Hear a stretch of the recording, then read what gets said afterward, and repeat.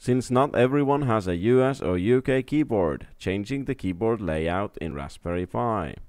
Start by opening up a terminal and type sudo nano forward slash home slash your username slash dot xsession rc and then enter.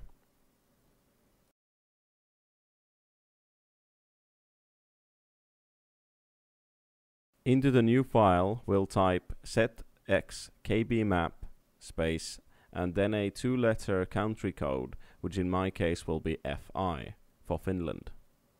I'll put a link to a list of country codes into the video description. To save the file, press Ctrl X, Y, and then enter. Now we just need to restart the machine to apply the settings.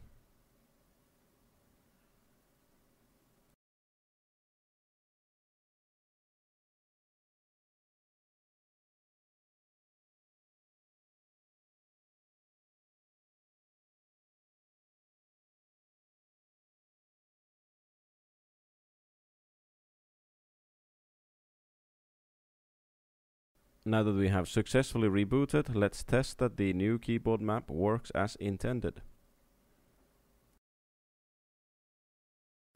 And that's all folks.